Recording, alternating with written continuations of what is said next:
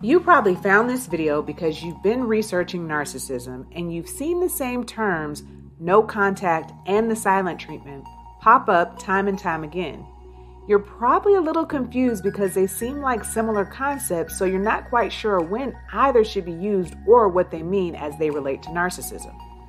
If that's you, we're going to discuss what each term means and how each term is used as it relates to narcissistic relationships.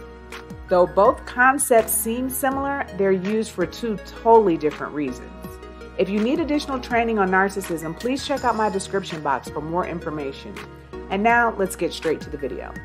So let's first discuss the silent treatment.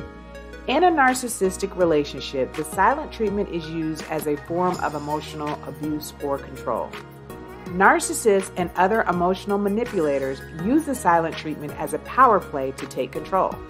They use this as a punishment tactic to control their friends, partners, employees, co workers, families, kids, etc.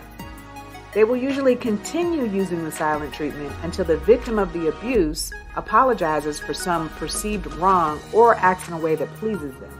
This is especially true when the abuser feels they are being exposed for something, which makes them feel humiliated or vulnerable.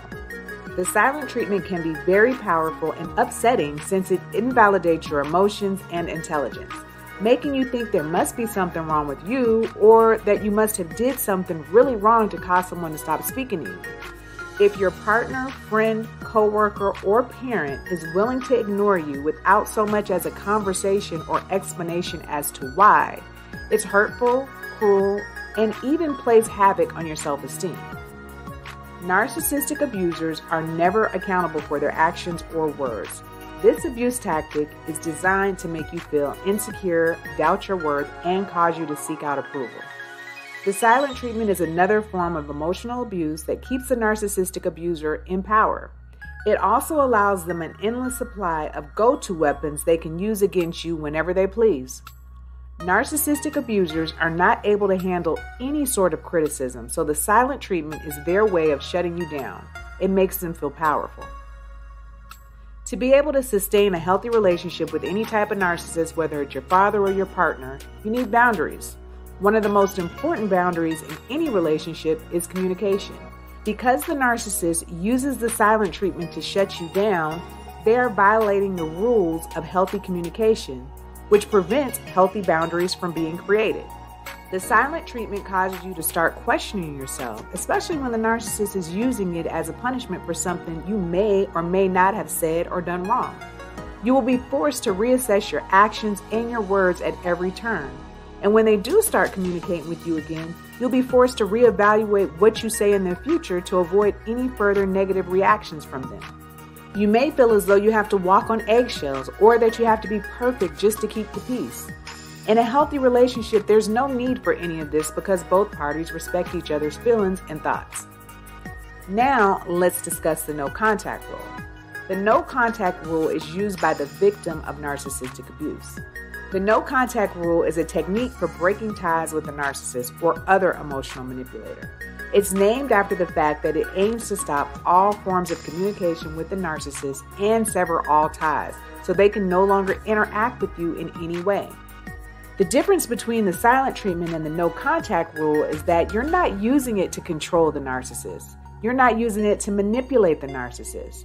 You're not using it as a tactic so they'll reach back out to you and tell you they're sorry or how much they love and miss you. No, no contact is employed so that you can heal from narcissistic abuse and to keep the narcissist from continuing to come back and trying to abuse you again. Let's be very clear. The no contact rule is not about revenge. It's about disengaging from the narcissist to create boundaries. Boundaries are good because they protect you and keep you safe. The no contact rule is not just for people who have been in romantic relationships with an ex that is narcissistic either. It can be employed by anyone that has ever had a relationship with a narcissist, and it can also be used to stop the abuse of any kind of emotional predator. Now, when employing the no contact rule, the first three to four weeks of going no contact are usually the hardest. This is when you're still in emotional turmoil and probably having obsessive thoughts, especially if you were in a romantic relationship with a narcissist. Once those first few weeks pass, the rest of the time will go by more quickly and will get easier and easier as the time passes. As long as you keep yourself occupied by getting on with your life and engaging in activities that you enjoy. The no contact rule is not about controlling or manipulating your ex. It's merely a tool to help you get the distance that you need from an emotional predator so that you can heal and rebuild your life. The no contact rule should be employed until you feel like yourself again and are ready to fully engage with the world. The aim of the no contact rule is to give you the time and space you need to heal and recover. It is meant to break the manipulative cycle that keeps people bound to their abusers. Now that we have an understanding of both terms, we can see the main differences between no contact and the silent treatment. You should have noticed that one is used by the narcissist as a manipulation tactic to punish and control you, while the other is used by the victim of abuse to remove themselves from the narcissist and heal.